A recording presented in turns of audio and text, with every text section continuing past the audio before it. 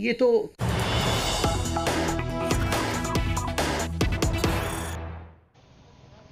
All right. Um, now, there's some breaking news coming in related to this because the Covaxin has not replied to the government of Delhi as far as the letter which was sent by the government of Delhi for 67 lakh additional dosages. Now, in Bharat Biotech has responded to the government of Delhi and it has said there are no vaccines available for, uh, for the Bharat Biotech to send to the government of Delhi.